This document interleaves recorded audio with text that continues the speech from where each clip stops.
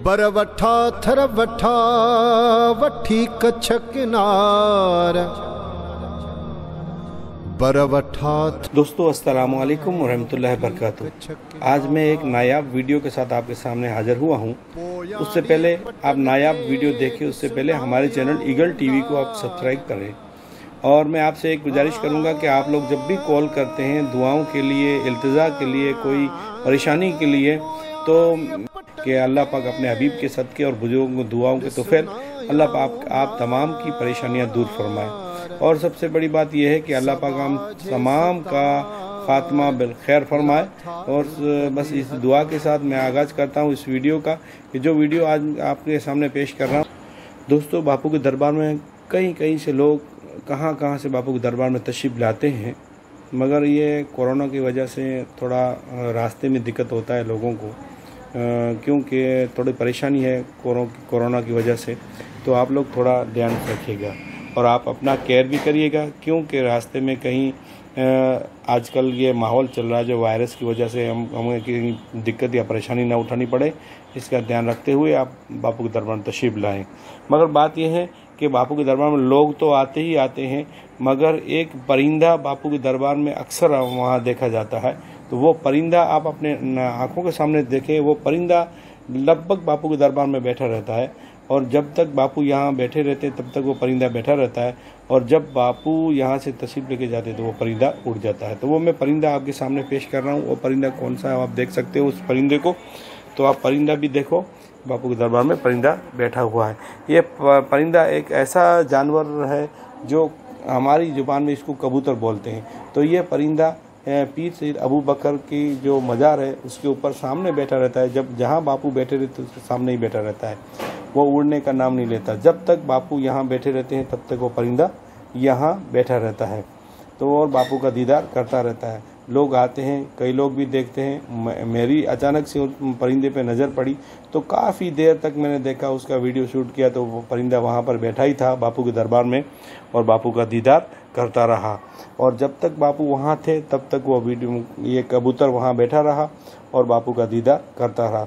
दोस्तों आ, अगर एक जानवर को एक परिंदे को ये यकीन है कि ये नेक बंदा अल्लाह का बंदा है और जो लोग इसे फैज़ हासिल करने के लिए आते थे, क्यों ना हम भी फ़ायदा उठाएँ, फैज़ हासिल करें बापू के दरबार से। और अलहमदिल्ला काफ़ी लोग फैज़ हासिल करते हैं। कई लोगों ने मुझे कॉल करके भी कहा है कि जब से बापू की दुआ हमने करवाई है तो अलहमदिल्ला, हमें वो फैज़ हुआ है। आज ही मुझे कॉल आई थी कि एक बहन ने मुझे कॉल किया था कि उनका कुछ केस था। वो केस अल्हम्दुलिल्लाह कई दिनों से चल रहा था, मगर अल्लाह के करम से आज दुआ करवाई, वैसे उनका केस फाइनल तक पहुँच गया। और उनको उनके जो डेवर डेवर थे, उनको जामीन का मतलब मिल गया।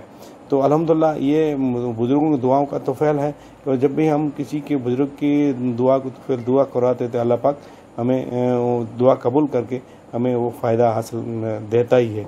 कई लोग ने मुझे किडनी वाले जो पेशेंट थे, वो लोग भी मुझे कॉल करके कहा कि बापू के दरबार से हमने दुआ जैसे ही करवाई। एक बंदा था जो, वो मैं नाम नहीं देना चाहूँगा क्योंकि मेरे पास वो लिस्ट में है। तो उनको कुछ किडनी के प्रॉब्लम में से जो, उसमें एट नंबर तक था।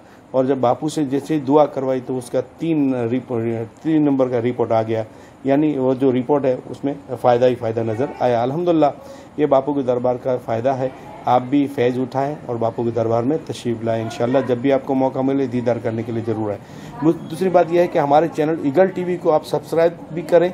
जितने लोग देखते हैं, उनसे मैं गुजारिश करूँगा कि आपके जो नीचे लिखा हुआ लाल अक्षरों से उसको दबा लें और उसके बाद निशान आएगा, बेल का जो, उसको भी दबा लें ताकि हमारी नई आने वाली वीडियो आपके मोबाइल के अंदर आपको जल्द बसानी हासिल हो जाएगी इन और आपके जितने फ्रेंड्स हैं तो उनको तमाम को कहिए कि ईगल टीवी का रबता करें, उन्हें सब्सक्राइब करें। जितना हो सके आप सब्सक्राइब करें और हमारे चैनल को बहुत आप लोग पसंद फरमाते हैं और सब्सक्राइब भी करते हैं। तो आपसे और भी मेरी गुजारिश है कि आप जितने लोग देखते हैं, उनसे मेरी गुजारिश है कि आप लोग हमारे चैनल ईगल टीवी को सब्सक्राइब करें। सब्सक्राइब करने के बाद बेल की निशान को भी दबा लें और जितना भी हो सके वीडियो लिंक को शेयर करें। वीडियो डाउनलोड कम करें। वीडियो लिंक को आप शेयर करते रहिए तो इन ईगल टीवी आपके सामने और बेहतर बेहतर वीडियो लाता रहेगा। शुक्रिया दोस्तों, इस वीडियो को देखने के लिए और इजाज़त दीजिए आपके मेज़बान आई जे सैयद को। शुक्रिया असल वरहमल वर्का